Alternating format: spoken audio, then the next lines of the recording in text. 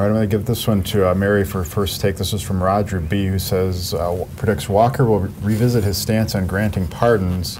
There's too much money available from us ex-cons. I was 17, 47 years ago, and committed a burglary. Isn't it time that I and others were deemed worthy by our governor-elect? Now, we saw the pardon thing come up just in the Steven Avery thing this week when the Scott Walker's not given any pardons, right? no, Do you see any change no in that? pardons.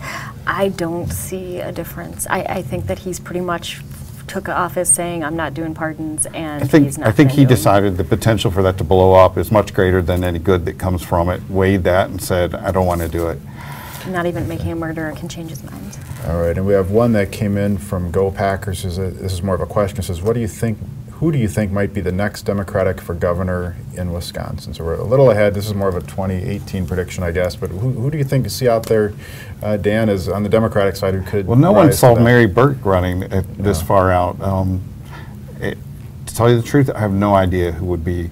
Uh, Ron Kind is someone who's discussed frequently, but he's one of those who ends up discussing it, thinking about it, and not ever running for anything but his current seat.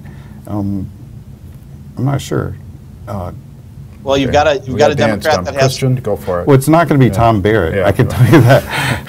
Probably you've got a Democrat that has one statewide, for, so so for that reason, I'll just say Tammy Baldwin. Yeah, Let's go with I, that. I don't see, I don't see Tammy running. All right, you got a name for Uh, us, pro- Mary? I probably not. Um, you know, I think again they might try to go uh, from some somebody from the private sector because they just have a pretty thin bench when it comes to uh, people you know who are elected now who can win statewide. And the other leaders, I mean, do you do, you know, Peter Barca, I mean, those sort of um, legislative leaders, but there's no one to inspire. I mean, the other, the other name that we didn't discuss is Chris Abele. If he wins the election now, there's been a lot of talk that he's interested in running eventually.